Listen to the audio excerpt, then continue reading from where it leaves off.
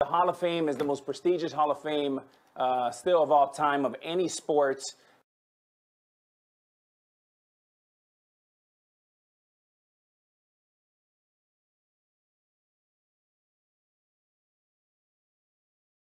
Of the required 75% threshold were controversial figures Curt Schilling, Barry Bonds, and Roger Clemens. Two players who didn't get in, obviously Barry Bonds, Roger Clemens, both received 59%. Should they be voted into the Hall of Fame? Obviously, we, we know the, the elephant in the room, but what I will tell you is I've never seen a better hitter Bonds didn't let the lack of a long-term contract affect his play on the field as he won his second MVP award in 92. Bonds hit 311 with 34 homers and 103 RBI. Should Bonds be in? Barry Bonds should have been in the Hall of Fame at his first opportunity. I've seen Tom Brady do what he did in overtime, but but this was this is the hardest thing, single thing to do in sports, and he did it the best that it's ever been done. That's hit a baseball consistently. This one is going, going, it is gone. Those are some of the greatest moments of my career because I've never seen anything quite like that. But that might. Deep to right field, way back and gone. And allow me to tell you why I believe he's not in the Hall. Obviously, he resorted to using PEDs. Hey, Tom, question for you. Who do you think will get in the Hall of Fame first, Barry Bonds or Pete Rose? Barry's a friend of mine, uh, and I think till this day, Barry said he didn't use them. Barry, how do you respond to the allegations in this book? Man, I won't even look at that book. It's full of lies. Players have cheated since, you know, time immemorial. The first corked bat was Babe Ruth's. He tried to cheat. I said, is, is scuffing a ball cheating? He said, yes. I said, is sticking a needle in your butt cheating? He said, yes. I said, is sticking a needle in your butt a bigger cheat? He goes, absolutely not. My issue is not with the attempt to cheat. I mean, Gaylord Perry, you know, has a book about the spitball. When you scuff a baseball and you know what you're doing, you almost guarantee success by doing that. When you stick a needle in your butt, you don't guarantee anything when you do that. And now with Pudge Rodriguez suspicions, first ballot, Mike Piazza suspicions first. in last year, Bagwell suspicions in this year, how can that not help Bonds and Clemens moving forward? I think what was more amazing is that I looked at Bonds the way I looked at Lance Armstrong, or I looked at Clemens the way I looked at Lance Armstrong. Everybody was cheating, and they were that much better than fellow cheaters. Like Lance should be celebrated in a sport that's completely tainted, in my opinion. I mean, the sport is all about cheating. And with Bonds and Clemens, they did what everybody else was doing because they saw everybody else doing it. In his mind, I believe he had to because he watched what Sosa and McGwire did in the, the summer of love. Swing, and it's BB, baby, back to back. Woo, look at this one. Upper deck. Sammy drives one. Get out the tape measure. Long gone. Trachsel winds and fires. Big Mac. Swing and a shot into the corner. It might make it. There it is. Mark McGwire and Sammy Sosa in 1998 in their chase for the all-time single-season home run record. To me, Mark McGwire wasn't a Hall of Famer without PEDs. There are some people who it's obvious. A guy like Mark McGwire, the juice was his whole thing. Mark McGwire hit one in batting practice to come within two rows going out of Busch Stadium.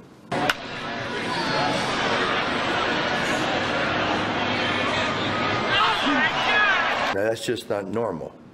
Mark McGwire saying this is so obnoxious it almost defies description.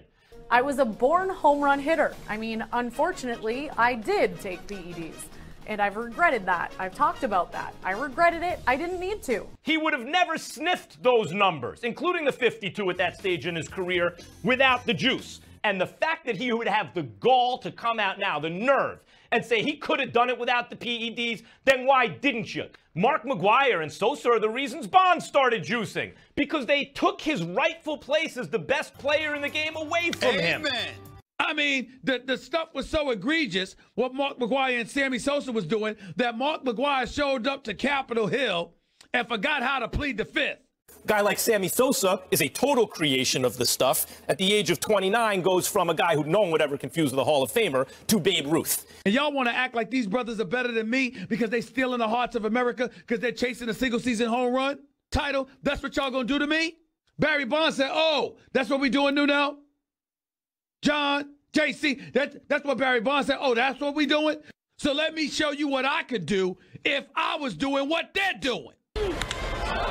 Deep to right center field, and that is number 512. Uh-oh. Uh-oh. Hell with it then. I guess I could do that too. Oh, boy. 3-3. Wow. This guy was the GOAT. He was the best player in the game. Then he saw everybody else using steroids. He like, oh, okay, y'all want to play that game? And Bonds hits one high. Hits it deep.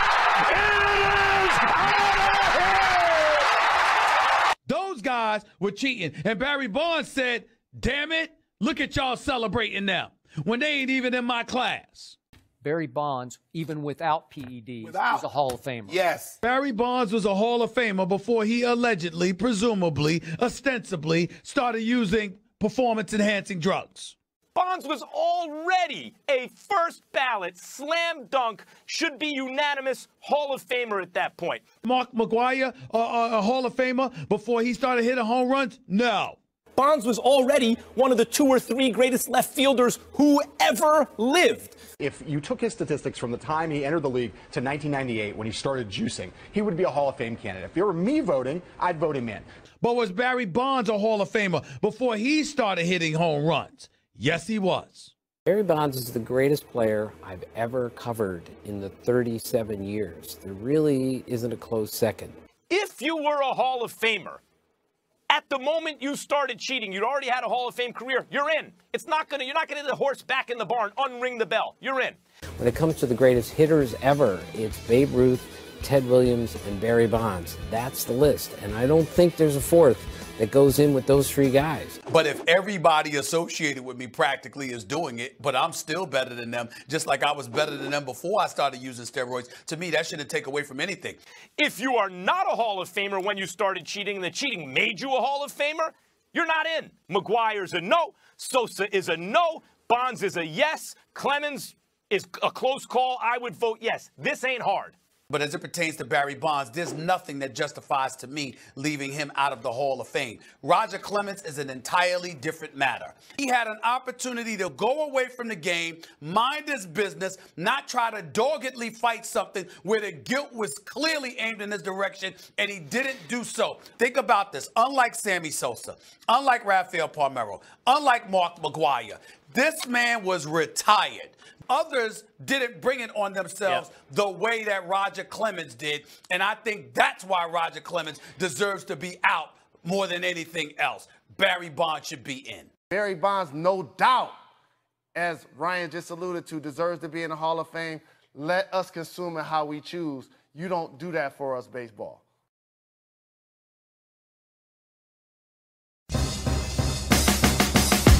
Nobody likes me.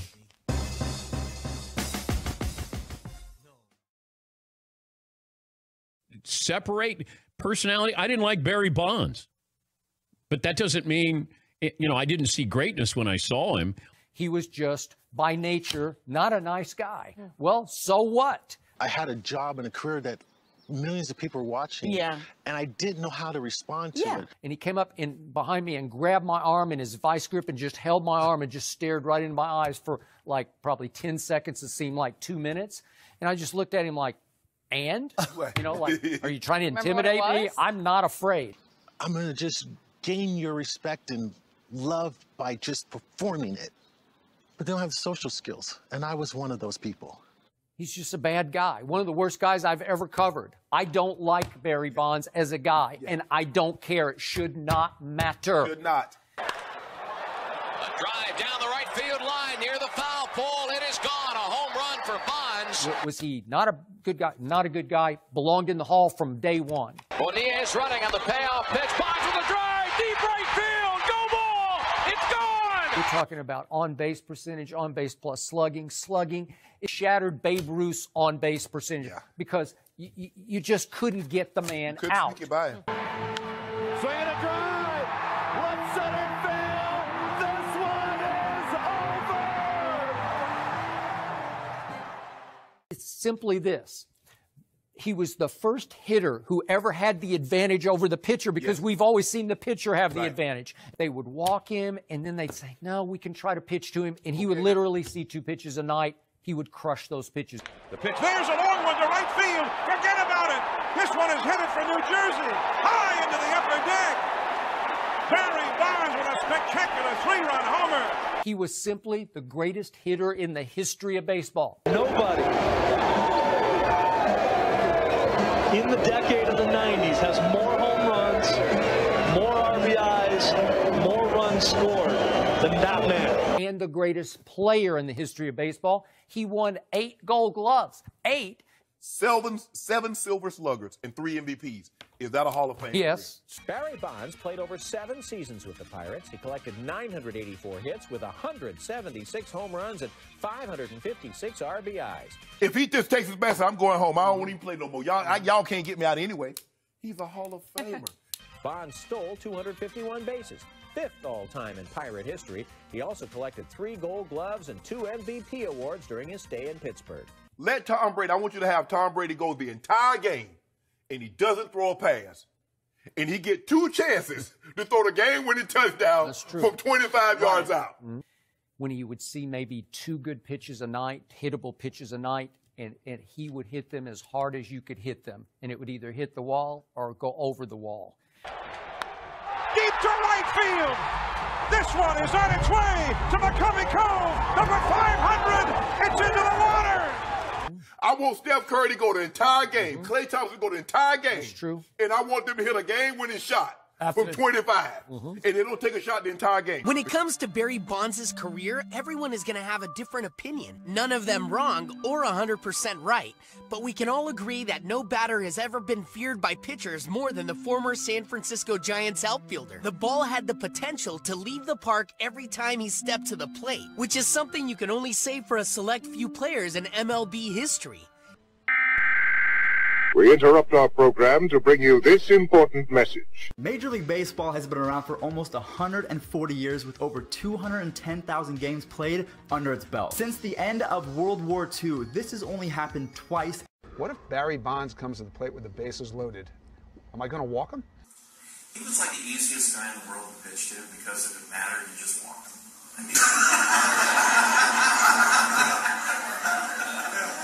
Buck Showalter says, you know what? I'm so afraid of this man. I'm a walk a run in. With the bases loaded. You walk, I'm a walk a run in. I refuse to pitch to and you. it was a smart move, too. yeah, It was. He's so much better than all the other hitters in the game that you kind of you got you got to pick your fights. You know, you got to get 27 outs. You got to know where they are. You know, they're not going to be with him. And they're walking him with the bases loaded. and intentional walk to Barry Bonds. Unbelievable. This is when you have officially peaked as the best player in Major League Baseball. Intentionally walked with the bases loaded. Jesus Christ. Here- here- Jason, what, here's the bottom line. What gives your team the best chance to win? Right. Not the scrutiny of the questions that are going to be asked, what if? Can you guys imagine that? Barry Bonds was so intimidating and so good at hitting that the opposing manager thought it would be a better idea for the pitcher to walk him as opposed to pitching him and possibly giving up a grand slam. And I knew that they had brought him in in a double switch. He didn't start that game, and I knew Jeff Kent wasn't hitting behind him. Brent Mayne's a good hitter, good major league career. He was on deck. But I had a shot at facing Barry Bonds or him. Good idea. We now return to your regular programming. You can give you a man all the PEDs you want, but you still have to make contact, man. That ball is drilled to deep right, and that could be number 400. It is. He's done it. That one's high, deep right field. This has a chance. Gone. Bonds hits one high to right field. Hits one deep. Number 60 out of here. Bonds, well to center. Finley back at the wall. Out of here. Bonds with a drive. Looks like number 70 for Barry Bonds. And it is. Bonds hits one to left center field. He hits it well. Plesko back. It is out of here. Number 700. Barry Bonds, deep drive right field, 714. The pitch. Bonds hits one high. Hits it deep to center.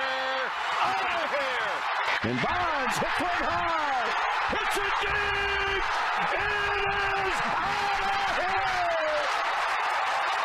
756.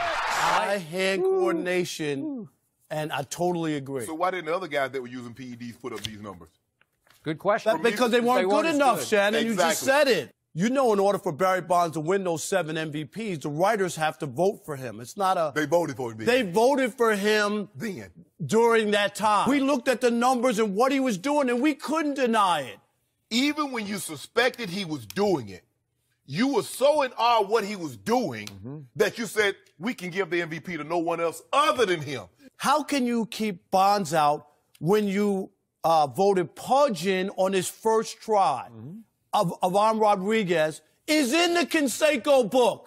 Jeff Bagwell. Jeff Forever. Bagwell, forever. They put Jeff Bagwell in. Canseco didn't say, I heard he was doing it. He said, I used to inject him. Where Mike Mussina averaged 11 No. wins a year, 11, and never won a Cy Young.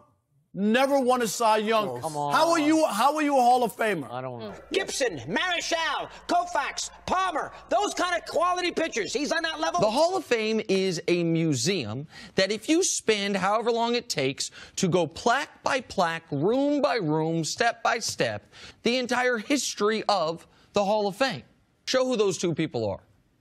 That is Barry Bonds pre steroids, just pre steroids, and that's Chipper Jones' whole career.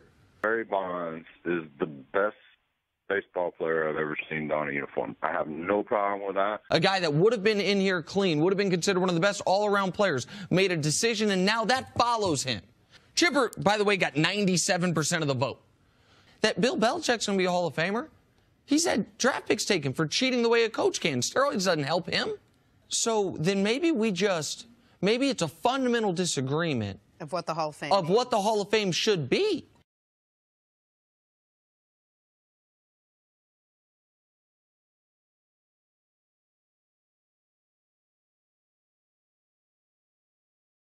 Likes me, but that's okay, cause I don't like y'all anyway. Man, I don't like y'all anyway.